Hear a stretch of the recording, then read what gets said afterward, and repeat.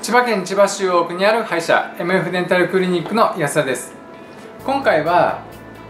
前歯の根幹治療におけるクラウンについてという質問にお答えしたいと思います。ちょっと難しい質問ですが歯を全周削って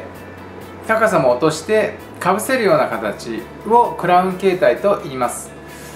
うん、王冠ですね。と歯にかぶせるっていう意味で王冠ってついてるようです。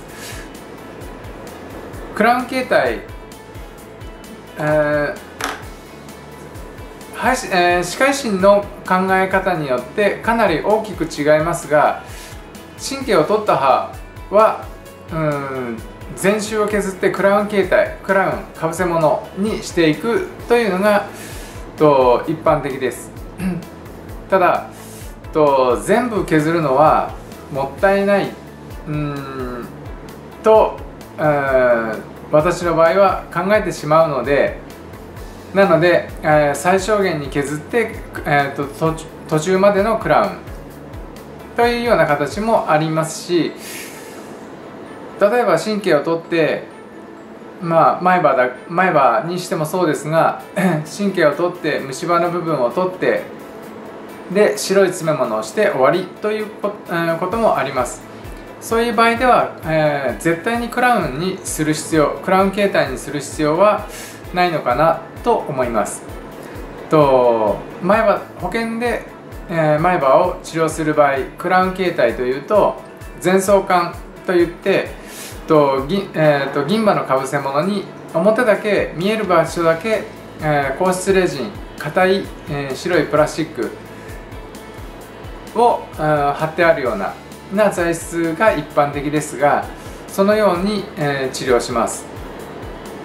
ただ脂質歯がだいぶ残っている場合はやはり、えー、私の場合はクラウン形態ではなく白い詰め物コンポジットレジンで、えー、コンポジットレジン修復をして、うん、終わりにすることが多いです。先生によって考え方が本当に大きく分かれると思いますしとうん私の考えが あの全て正しいわけではないのですがやはりなるべく、えー、残っている歯を削りたくないなと思うのでそういうような処置を行っております。もしも とクラウンになるの？それとも、えー、コンポジット、えー、と白い詰め物でになるの？というような質問もあればと実際に、えー、ご自分が行こうと思っている歯医者に、えー、お電話なり で聞いてみた方がいいと思います。コメントいただければと私もと私なりの考